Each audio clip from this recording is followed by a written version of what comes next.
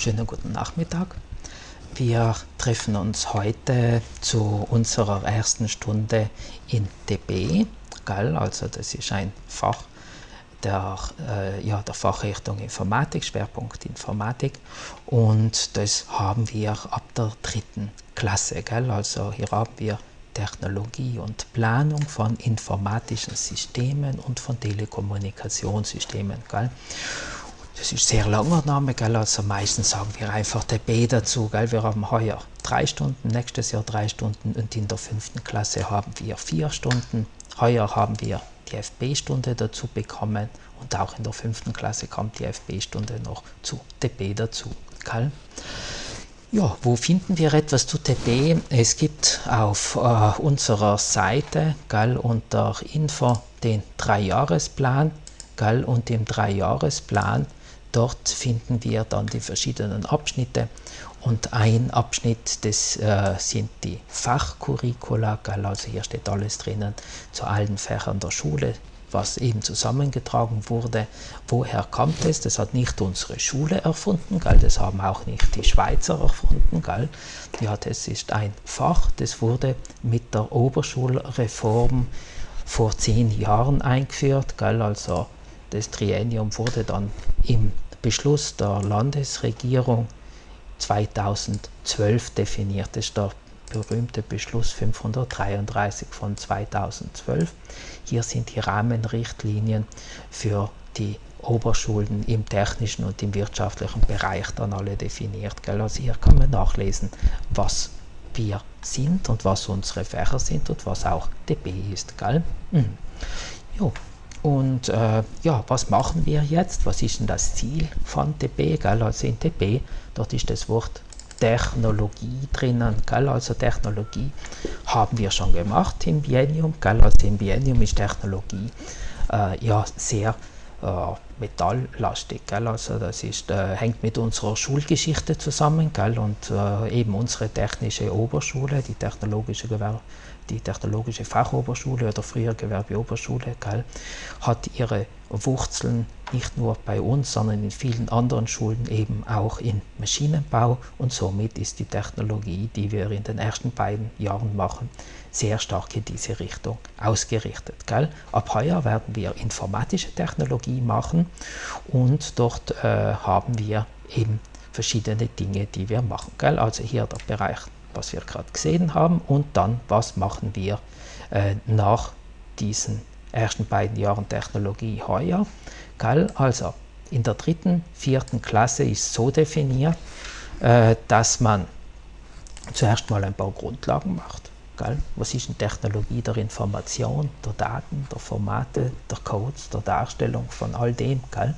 Also das ist etwas, was wir jetzt am Anfang machen werden und äh, nachdem wir das dann gemacht haben, kommen dann eben äh, die äh, eigentlichen großen Blöcke. Gell? Und äh, wir haben zwei große Bereiche in der dritten und vierten Klasse. Gell?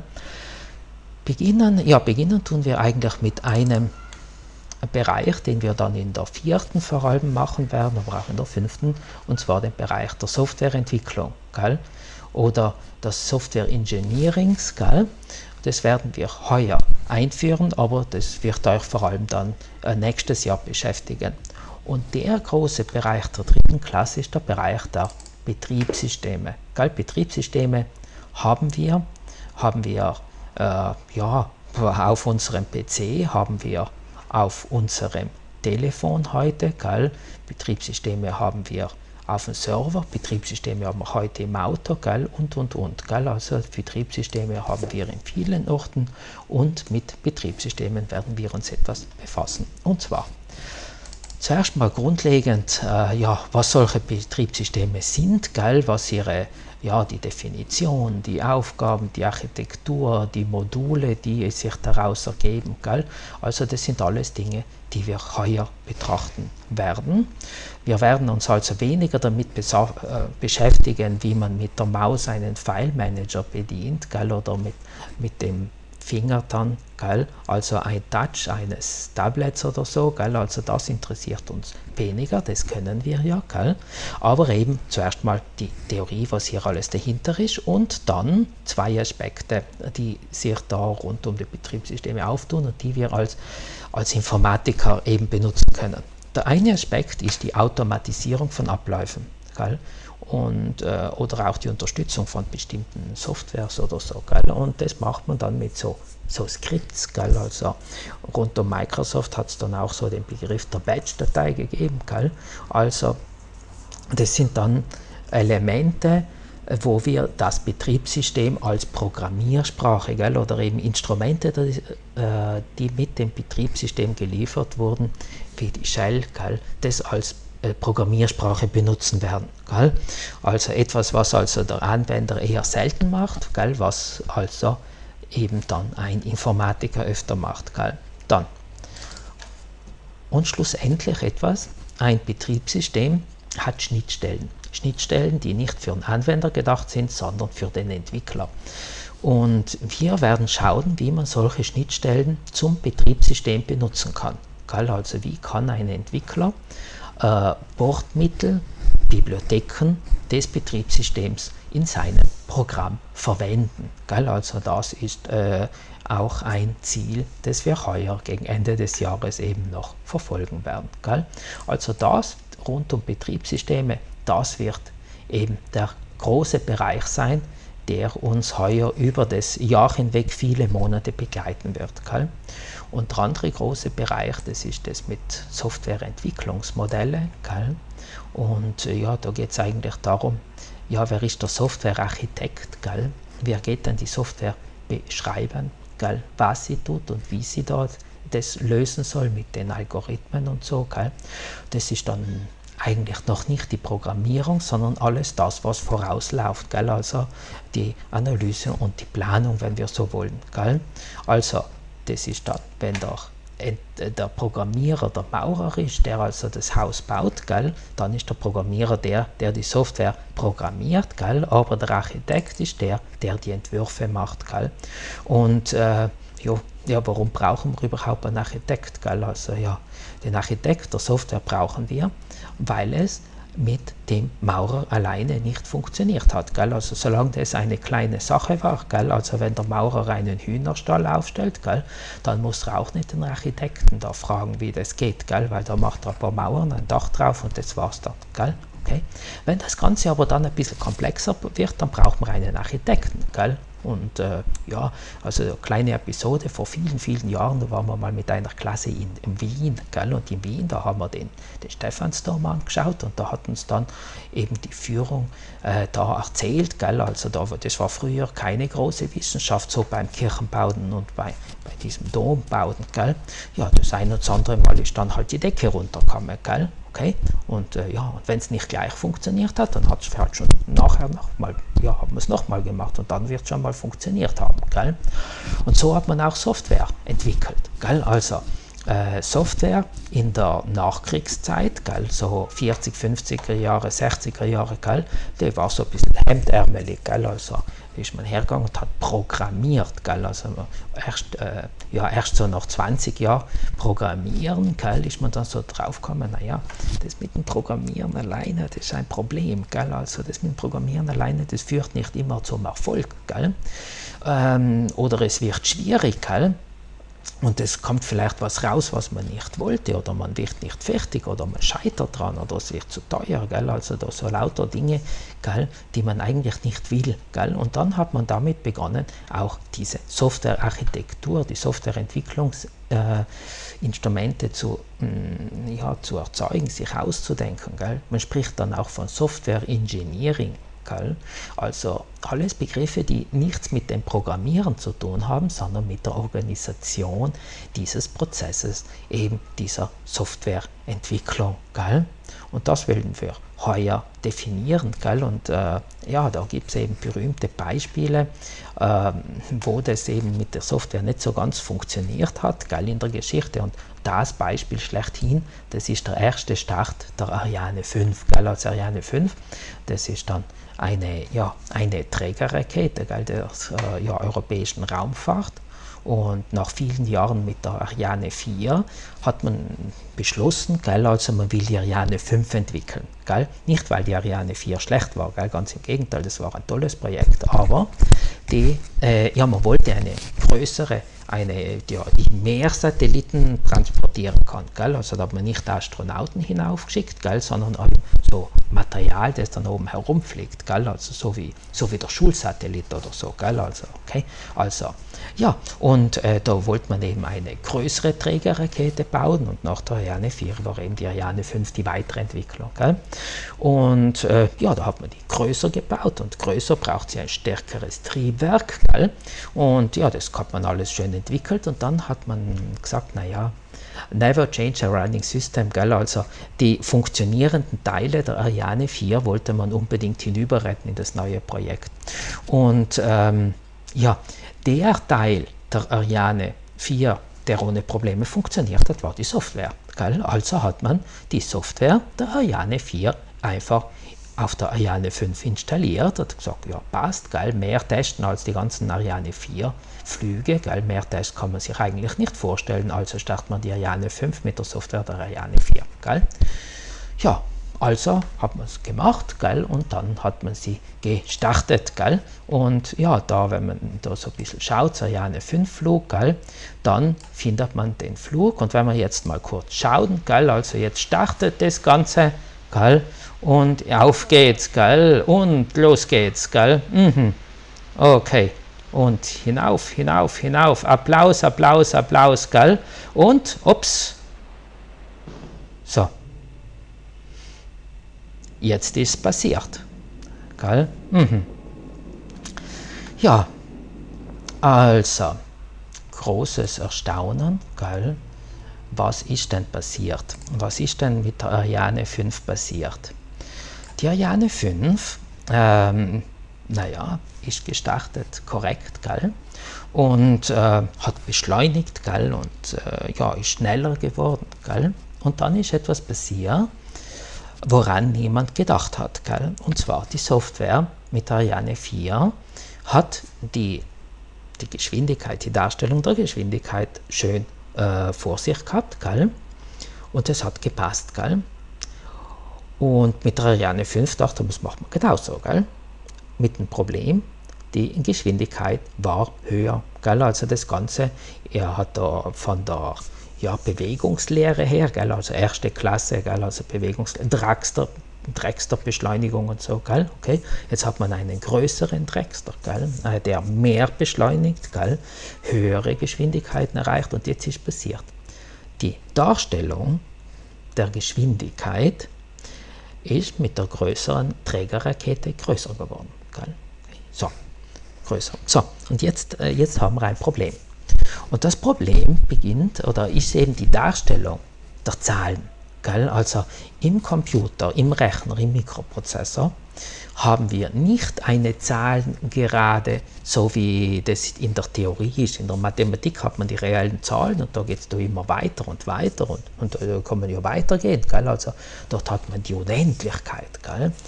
Also die Mathematiker, die beherrschen die Unendlichkeit. Gell? Also ja, gell? die Physiker auch, gell? die beherrschen die Unendlichkeit auch. Gell? Aber die Informatiker nicht. Gell? Die Computer, die haben einen bestimmten Zahlenbereich. Und wenn man dort weitergeht, dann erreicht man irgendwann in der Darstellung die letzte Zahl. Und wenn man die letzte Zahl erreicht hat, gell, und man geht dann eins weiter, ja, jetzt hängt es davon ab, welche Zahlendarstellung man hat. Gell? Also es gibt da diese Darstellung mit, den, mit ganzen Zahlen oder natürlichen Zahlen. Wenn man dort beim letzten ist, dann kommt man auf der anderen Seite wieder raus. Gell? Okay? So, das ist jetzt so grob gesagt passiert bei der Ariane 5. Gell? Also äh, die Ariane 5 hat beschleunigt, beschleunigt, ist beschleunigt und irgendwann mal ist man über diesen Bereich, über diesen Bereich der gültigen Zahlen hinausgekommen, hat einen sogenannten Überlauf erzeugt und äh, ja, ist auf der anderen Seite wieder zurückgekommen. Und das ist ein Problem, weil die Ariane 5 hat in, ihren, in ihrer Software eine Kontrolle und diese Kontrolle äh, besagt, naja, wenn es abwärts geht, das ist gefährlich. könnte einer drunter sein, gell? Mhm. Und das ist passiert, gell? Also es ist aufwärts gegangen, man hat den Überlauf. Es ist etwas rausgekommen, wo die Ariane 5, also die Software festgestellt hat, naja, es geht abwärts. In Wirklichkeit ist nicht abwärts gegangen, ist schon aufwärts gegangen. Nur die Darstellung war falsch. Gell? Nur die Darstellung. Gell? Und in dem Moment hat die Software eine Entscheidung getroffen. Gell? Und zwar, äh, die Entscheidung war, naja, wenn es abwärts geht, dann muss sich die Ariane 5 selbst zerstören. Gell? Also, naja, es wurde die Selbstzerstörung ausgelöst. Gell? Naja, die Ariane 5 ist geflogen, geflogen, geflogen. Gell? Und irgendwann mal ist rausgekommen, es geht abwärts. War falsch, gell? Es ist nicht abwärts gegangen, aber die Software hat es gedacht, also hat es Bumm gemacht. Mhm. Ja. Softwarefehler, gell? Ein sehr teurer Softwarefehler, gell? Okay, also ein berühmter Softwarefehler, gell? Das ist eben die Steuerung der Ariane 5. Gell? Oder was anderes, 2014 hat man bei diesem Galileo Projekt gell, der europäischen Navigation. Gell, also das ist ja ein ganz feines Projekt. Gell, wir reden immer von GPS, gell, das ist das Navigationssystem äh, dieser US-amerikanischen Militärs. Gell, weiß man nicht genau, gell, wie gut das ist gell, und ob sie da mal sagen, ja, ja, heute schalten wir mal aus. Gell. Dürfen sie ja, gehört ja ihnen, gehört nicht uns. Gell. Mhm. Also haben die Europäer schon vor Jahrzehnten gell, entschieden, man entwickelt ein europäisches Navigationsmodell, gell, also eine, ja, zur Positionierung, Navigation kann man daraus da machen. Gell, also ähm, dieses äh, Galileo, gell, das ist, funktioniert eigentlich im Prinzip schon, man hat schon viele Satelliten dort, aber 2014 ist dort was passiert. Man hat im Sommer 2014 zwei äh, Satelliten hochgebracht und man war da beim Aussetzen so ein bisschen ungenau. Gell? Mhm. Gell? Also man hat sie hochgebracht, ausgesetzt oben. Gell? Und naja, sie sind irgendwie auf die falsche Bahn gekommen. Gell? Mhm. Ja, das war jetzt ein Problem. Gell? Also man, man hat es dann geschafft, sie wieder auf die richtige Bahn zu bringen. Gell? Aber das hat Energie gekostet, gell? Also diese ja, Satelliten, die haben schon so ein bisschen Treibstoff mit, die können so, so ein bisschen ja, ein bisschen Feuer machen dort oben und so ein bisschen korrigieren, wo sie hinfliegen. Gell? Aber dieser Treibstoff wäre eigentlich nicht dafür gedacht, dass man sich am Anfang damit positionieren muss. Gell? Der wäre eigentlich dafür gedacht, dass man nach vielen Jahren des Betriebs dort oben, wenn es langsam wieder abwärts geht, vielleicht sich dort wieder halten kann oder so. Gell? Also nicht am Anfang zum Positionieren. Gell? Also mit diesem Fehler hat man äh, diesen Satelliten sicher Lebenszeit genommen. Gell? Weil da oben kann er nicht tanken, gell? kann man nicht einfach sagen, ja, bei der Weltraumtankstelle mal kurz vorbeischauen. Gell? Geht nicht. Gell? Okay, also diese beiden Satelliten werden also früher runterkommen als uns lieb ist. Gell? Mhm. Ja, was war das Problem? Gell? Der Verdacht ist Softwarefehler. Gell? Also so ganz genau weiß man das jetzt nicht, gell? Also, oder sagt man das nicht, gell? aber der Verdacht ist schon Softwarefehler. Gell? Also es soll eine russische Firma dabei sein, gell? Jemand spricht auch von Sabotage, gell? aber ähm, das wollen wir mal nicht annehmen, gell?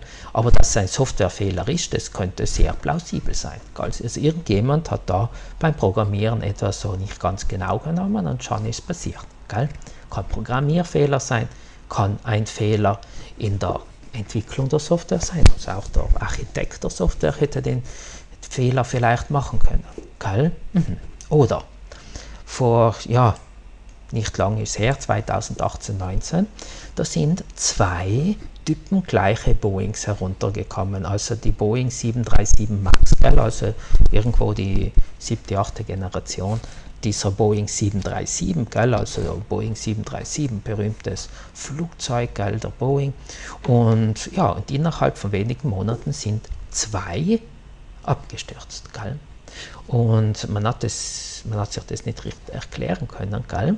hat das Ganze dann, ja zuerst mal hat man diese Boeing 737 MAX alle angehalten, gell? Also durften nicht mehr fliegen und dann ist schon langsam rausgekommen. Gell? Da hat es äh, bei der Projektierung des Flugzeugs ein Problem gegeben und zwar hat man da eben die Triebwerke anders angebracht und das äh, Flugzeug ist äh, weniger stabil gewesen als die Vorgänger. Gell? Und ja, man, hat das, man wollte das dann irgendwie softwaretechnisch ausgleichen und ähm, naja, das war eher so schwierig und äh, da, ja, da hat es eben dann zweimal gekracht. Gell? Und das ist eben nicht gut. Gell? Also, wenn wir so wollen, diese Abstürze gehen auch auf Software zurück. Gell? Man kann auch sagen, es war ein Projektierungsfehler des Projekts selbst. Gell? Wäre diese äh, Boeing 737 MAX stabil gewesen, dann hätte es die Software zur Stabilisierung überhaupt nicht gebraucht. Gell? Aber nachdem es die Software gebra gebraucht hat, man hat sie eingesetzt, aber die Software hat also das nicht richtig gemacht. Gell? Ein anderes Beispiel, auch Boeing 767 äh, vor fast 30 Jahren. Gell? Das war ein Absturz einer Maschine der Lauda Air. Gell? Also Niki Lauda, der österreichische Rennfahrer, gell? der äh, hat ja auch der Fluggesellschaften betrieben und seine Lauda Air war die, die er am längsten betrieben hat. Gell? Und 1991 ist zum Absturz über Thailand gekommen, gell? also da waren auch Südtiroler mit an Bord. Gell?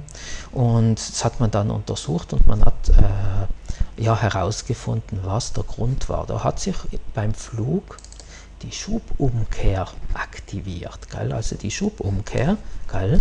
Äh, naja, die brauchen wir, um beim Landen äh, ja, diese große Maschine eben ja, zu, zu bremsen. Gell? Okay?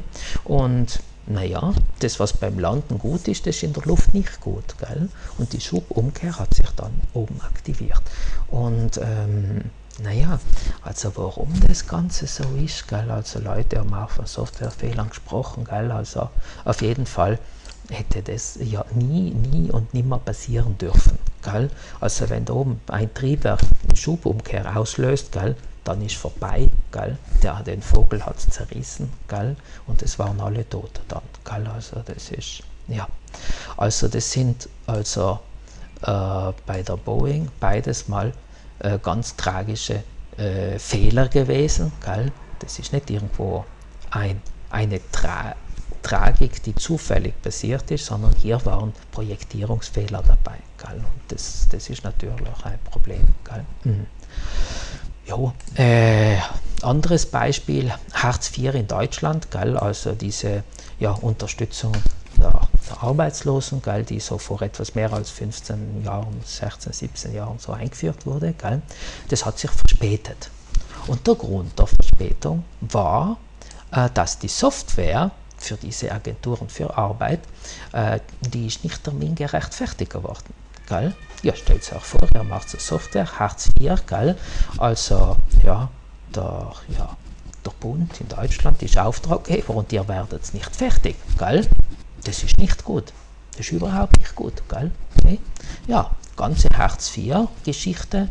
Da hat man in Deutschland zu der Zeit so 5 Millionen oder so Arbeitslose gehabt und äh, das war eine große Geschichte und dann wird es nicht fertig. Gell, also nicht gut, gell, nein, nein, nicht gut. Gell. Mhm. Gell?